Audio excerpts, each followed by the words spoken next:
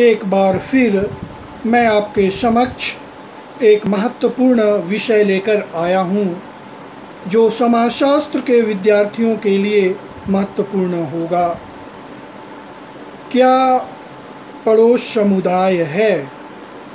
जैसा कि आदिम समाज में समुदाय की विशेषताएँ पाई जाती थी, आज भी कुछ गाँव में समुदाय की विशेषता पाई जाती है, लेकिन अधिकतर गाँव में ऐसी बात नहीं है, क्योंकि उसमें सामुदायिक भावना का अभाव होता है।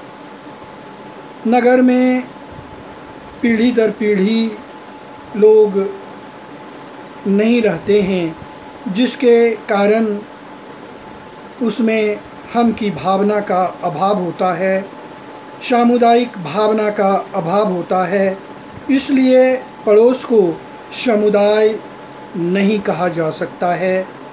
धार्मिक संघ, आर्थिक संघ, छात्र संघ, क्लब को समुदाय नहीं कहा जा सकता है, ऐसा वर्णन किया गया है।